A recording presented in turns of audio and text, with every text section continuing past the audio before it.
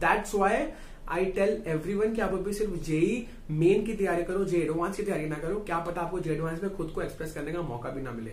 Okay so JEE main की तैयारी जोरों शोरों से करो यार। अभी आपके पास बहुत एम्पल अमाउंट ऑफ़ टाइम है।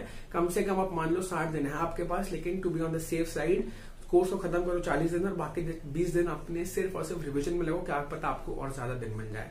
और भाई बहनों, क्या हाल चाल है? यार, बहुत बहुत स्वागत है उनका जो मेरे चैनल में पहली बार आए हैं। यार, एक काम करो चैनल के बाहर जाओ सब्सक्राइब करो, घंटी बजाओ और अंदर आ जाओ। और जो मेरे चैनल में पहले भी आ चुके हैं, यार, इसे तो अपना चैनल समझो। तो मैंने ऐसी बहुत सारी वीडियोस बनाई हैं जहाँ पे मैंने प्रिडिक्ट करने का सोचा है, ठीक है? मैंने आप सब तक एक इन्फॉर्मेशन पहुंचाई है कि जितना ज़्यादा ये जो पैंडेमिक है वो एक्सटेंड होता जाएगा, जितना ज़्यादा जो लॉकडाउन है, जो कि अभी रिसेंटली दो हफ़्ते के लिए और ज़्यादा एक्सटेंड हो चुका है, वो और ज़्यादा बढ़ता रहेगा। जितने ज़्यादा आपके रीजन रेड जोन में रहेंगे, उतने ज़्यादा चांसेस आपके जेई एडवांस होने के और कम होते जाएँगे, ठीक है? हमने पहले भी ये डिस्कस कर चुके कि भले आपका जेई मेन का जनवरी सेशन हो चुका है बट स्टिल जेई मेन का जो अप्रैल सेशन है वो कंपल्सरीली होगा ही होगा एंड स्टिल जे एडवांस को स्क्रैप किया जा सकता है अगर ये लॉकडाउन पैंडेमिक या फिर जो रेड जोन एरियाज़ है वो बढ़ते ही रहे ओके सो ये सब स्पेकुलेशन चालू कहाँ से हुए थे दीज ऑल स्पेकुलेशन स्टार्टेड जब एक you know triple I T Hyderabad के डायरेक्टर है मिस्टर पीजे नारायणन उनका एक इंटरव्यू हुआ था द क्विंट और हिंदू के साथ तब उन्होंने वहाँ पे क्लियरली ले आउट की थी क्या क्या एडवांटेजेस हो सकते हैं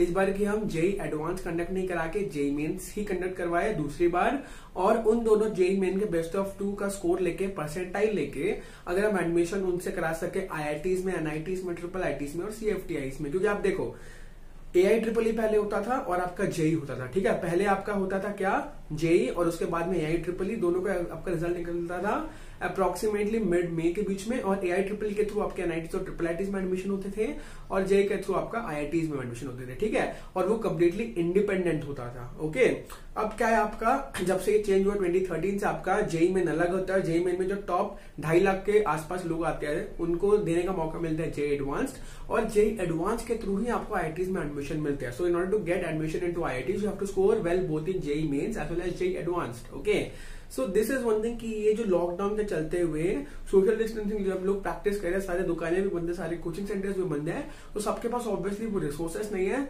जिससे कि वो जेई एडवांस के लिए तैयारी कर सके, ठीक है? गवर्नमेंट ने बहुत सारी जो फैसिलिटीज़ है, वो भी दे रखी है लोगों को but still that is not ample enough कि लोग उसको अच्छे से एक्सप्लोर करके अपने प्रिपरेशन में यूज़ कर सके।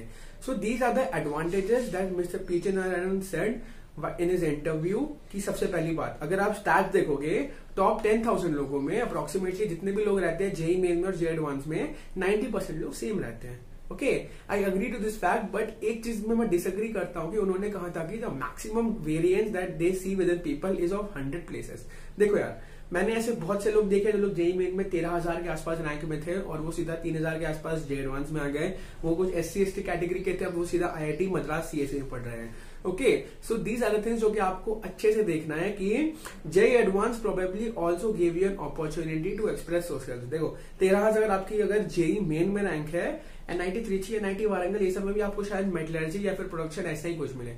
बट अगर आपकी रैंक तीन हज़ार आगे जे एडवांस में, आप बड़े बड़े आई में भी जा सकते हो कोर ब्रांचेस के साथ। So this is one thing की J once would have given a lot of people another chance of come back in case J advance gets scrapped, so that chance of reprieve is taken away from them. So that is a major setback. But अगर आप दूसरे side की तरफ़ देखोगे 90 percent लोग people same रहते हैं so that is very pleasing ठीक है एकदम एक्यूरेट स्टार्ट है वो आप देख सकते हो कि देखो जो लोग स्पेसिफिकली पाँच हज़ार के अंदर रहते हैं वो लोग एग्जामिनेशन कितना भी खराब कर दे उनकी जे एडवांस में दस हज़ार के अंदर नाइन्टी एट से नाइन्टी नाइन परसेंट लोगों की आ ही जाती है so this is one thing top के फाइव थाउज़ेंड लोगों को तो इतनी दिक्कत नहीं होती अपनी रैंक टेन थाउज़ेंड में बरकरार रखने के लिए जे एडवांस में भी और एक बात है उन्होंने एक, एक और पॉइंट वहाँ पे मेंशन किया था कि लोगों को इतना ज़्यादा स्ट्रेस मत दो कि उनको एक और एकदम इतने बड़े लेवल के एग्जामिनेशन के लिए प्रिपेयर करना पड़े ठीक है? क्योंकि देखो आपका जेएम और जे एडवांस तब तक नहीं होगा जब तक सारे आपके जो रीजन है इंडिया के वो एकदम वेल एक्लेम ना हो और एकदम यू नो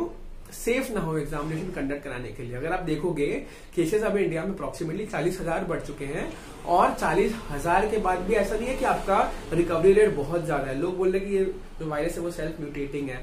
बट स्टिल अगर आप देखोगे in the states of Maharashtra Gujarat Tamil Nadu उसके बाद आपका आता है मध्य प्रदेश, राजस्थान, दिल्ली। तो ये सब में ना बेसिकली जो रेट है कोरोना के बढ़ने का वो अभी और ज़्यादा बढ़ रहा है। आप देख सकते हो इन स्टेट से कम से कम अगर मैं पूरा एक्यूमुलेट कर लू तो हर हर मतलब दिन कम से कम एक से दो हज़ार केसेस तो इन्हीं स्टेट से आ जाते हैं। So this is one thing कि ये वायरस कितना भी ज़्यादा लेस हार्मफुल हो but still it is you know इतना ज़्यादा पॉपुलेशन है इंडिया का कि it will help corona in accelerating only और जो ग्रीन रीजन भी अभी बोल दिए गए हैं कि ग्रीन रीजन है, वहाँ पे भी अब जब मूवमेंट चालू होगी so obviously chances of you know this corona virus getting increase वो भी और ज़्यादा बढ़ जाएँगी. And the population you know it is obviously the biggest factor which can help in, you know, increasing the spread of corona. So this is one thing कि मैं पहली बार तो एक्सपेक्ट करता नहीं हूँ कि आपका जेई मेन मैंने पहले ही बोल के रखा है, जून में होने के चांसेस बहुत कम है, जुलाई में भी होगा, लेकिन पहले बोर्ड जो होंगे और फिर ये होगा। So this is one thing जहाँ पे मैं फुल्ली सपोर्ट करता हूँ जो भी क्लेम्स है आपके ट्रिपल आई हैदराबाद के डायरेक्टर मिस्टर पीजे नारायणन के। So that is one thing जो कि आपको दिमाग में रखना है and that's why I tell everyone की आप अभी सिर्फ़ जेई मेन की तैयारी करो जे एडवांस की तैयारी ना करो। क्या पता आपको जे एडवांस में खुद को एक्सप्रेस करने का मौका भी ना मिले। ओके सो जेई मेन की तैयारी जोरों शोरों से करो यार। अभी आपके पास बहुत एम्पल अमाउंट ऑफ़ टाइम है। कम से कम आप मान लो साठ दिन है आपके पास, लेकिन to be on the safe side course को खत्म करो चालीस दिन और बाकी बीस दिन अपने सिर्फ़ और सिर्फ़ रिविजन में लगो क्या पता आपको और ज़्यादा दिन मिल जाए। Okay so this is from my side समय आ गया आप सबसे लेने का। अलविदा और मैंने लिंक दे के रखा है डिस्क्रिप्शन में।